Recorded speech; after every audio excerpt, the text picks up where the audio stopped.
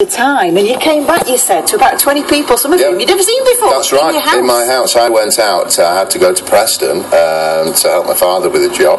Came back, and the house was full of people, friends, and there was people here that I'd, I'd seen through the village. And uh, to the point, I have two Labradors. One young lady said, "Can I take your dogs for a walk?" Well, I didn't see them for three days. She looked after them for three days because they couldn't come home. I mean, if we if we walk through the house, David, we're going from from front to back. Obviously, we're on concrete floors now. You've got an old flag floor in there, and we see the chairs with your sofa and your suite perched on chairs to get them out of the water. That's right. We, we, we thought at one stage, right, we've got to salvage as much as we possibly can. So we took everything upstairs which we physically could, and anything that had to stay downstairs, we, we lifted onto like wooden chairs, that type and the thing. kitchen chairs. Where, where does your insurance stand now? Well, the coming out tomorrow, the loss adjuster's coming out tomorrow. As far as the contents, we're living in a flood area. We've got a big excess to pay for content damage. It's thousands of pounds excess you're facing, isn't it? So you've done Oh, yes. thousands of pounds cost to you. This is That's right. It's going to be, it is. Well, the excess is five thousand pounds on the insurance, so that's that's got to be found from somewhere. I mean, just walking here, you've got a mop here, you've got buckets here, cement stuff. Going through into your kitchen, you more mops. You've got bureaus on the kitchen table. Um, yeah, when do you envisage moving back in? Well, I've been told the actual uh, structural wise is going to take two or three months to dry out. Why haven't you got dehumidifiers in now? You're speaking to a woman of experience. That's what we've got to organise for tomorrow. You know, we've had the heating on. The heating still does actually work to a degree, and so we've had the heating on and all the doors open, trying to to help it along. do you think you'd have to take the plaster off and Yes, redo the definitely. walls? Yeah, the plaster will have to come off. I had a builder came in on, on Saturday. The situation, as far as he's concerned, is you know at least a metre of plaster all the way around at the bottom has to come out, and obviously all the electrics have been affected downstairs as well. It's all the hidden work that Yes. people don't realise what's affected in a I mean, flood. it's not just the fact that we've got tide marks all around the, the different rooms. We're It's not talking about a clean up and a tart up, are we? not in this one, no. I mean, it's even come through the ceiling in the kitchen, as you can see in that corner.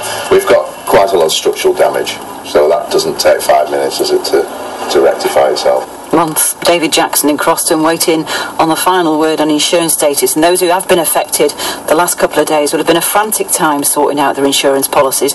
Um, some will let the insurance firms take the strain, or you might think of getting your own loss assessor. Geoff Williams is one of those based at Cherry and Griffiths, a company based here in Lancashire. Geoff, just let's get this straight. Loss assessors work for the householders, the policy holder.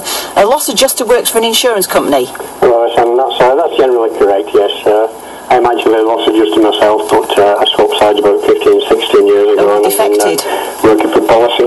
defected. So you, you know the insurance business inside out.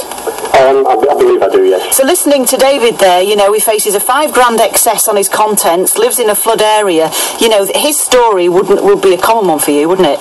Uh, it would, yes. Um, obviously, the £5,000 excess doesn't come into play unless somebody lives in the flood area, but uh, I was just listening to what David was saying, and um, I think he's doing a lot of the right things at, uh, at, uh, at the present time, and I think you picked up on uh, a couple of good points uh, with regard to it's the hidden damage and not necessarily what you can see. That uh, Yeah, that's tr- where there's a potential problem. As I drove into Croston yesterday, I saw vans belonging to one company called Rainbow, which are based here in Lancashire, that do all immediate recovery work. You know, it sent shudders down my spine having been through it, uh, Geoff. It, it is it's, it's a horrendous time for those affected, isn't it? Absolutely, it is. Yeah, stressful. Life's stressful in any event, but uh, when this sort of happens, uh, you know, it's, it's just total stress. People are totally outside their, um, their uh, comfort zones. Um, I know when we took on a you know a, a loss a, a loss assessor, they become like an agony uncle, really, Geoff. I mean, you know, you must be going through a busy period at the moment with what happened at the weekend. yeah, absolutely. Yeah, we had uh, people out over the weekend trying to help people, but uh, we, do understand that people want to see how their insurers deal with matters before they come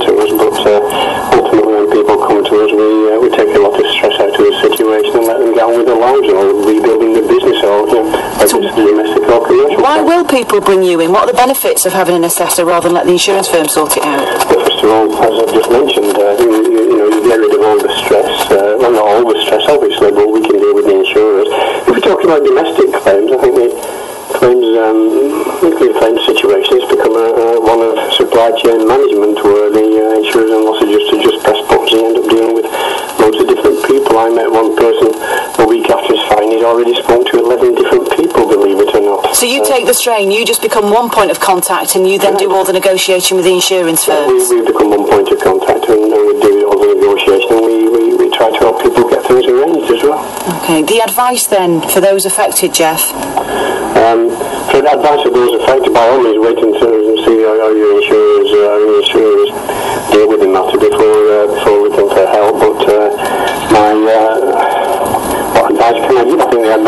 advice to Cry. uh, what the sorry.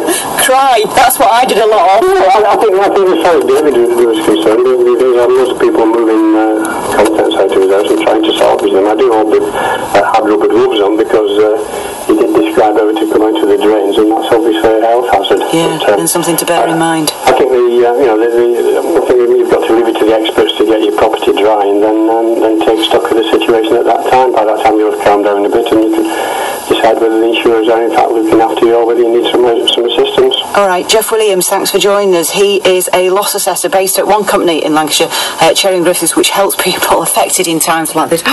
just brings back horrendous memories. Commiserations to all those affected by the floods over the weekend. 17 minutes past 8. Let's